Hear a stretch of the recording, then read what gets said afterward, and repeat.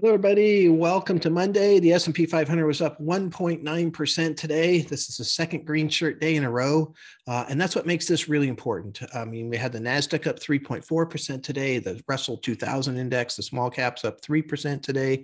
Very similar to what we saw on Friday. So, for me, when I'm looking at the market, one of my rules of thumb is two great up days in a row can reverse a trend. Uh, doesn't work every time. Worked back in March of 2020, for example, uh, and so this is what we're seeing seeing today is the second day, which I think is a very important follow through day.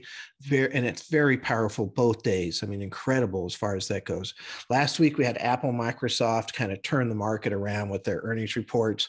Luckily, we own those in our portfolio, uh, and they did really, really well uh, as far as that goes. And then this week, we have uh, the semiconductors are starting to report applied materials, uh, for example. Sorry, uh, AMD, Advanced Micro Devices, will be reporting this week. Uh, the semiconductor index that we have in our portfolio, uh, SOXX, uh, was actually at 5.4% today. It's been lagging a bit, but again, a lot of these companies that are kind of the exciting companies haven't reported yet. Uh, and as they report, it seems that they've been beating expectations. Uh, and this is exactly what I was talking about before. If we looked at the last quarter, the market came down prior to earnings, especially from these big companies, because there's nothing but bad news to focus on Federal Reserve and the inflation and those types of things and then the earnings come out and people realize wow there's still a lot of money being made even in this environment uh, and the market starts to recover.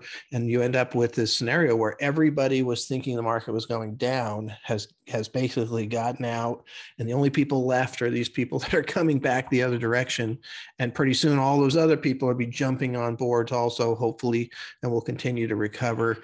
Uh, you know again i mentioned before in the video last week that there's been 84 of these 5 to 10% downturns on the s&p 500 uh, since the end of world war ii uh, so more than once a year uh, and the average recovery time is one month so you know who knows we'll see what happens here on this one as far as that goes. So look forward to being able to see what's going to happen tomorrow. I do think tomorrow, you know, I'd be a little surprised to see it be really strong. Oftentimes you see it take a little bit of a rest after these big type of days, but uh, look forward to seeing what's going to happen. Talk to you then. Thank you.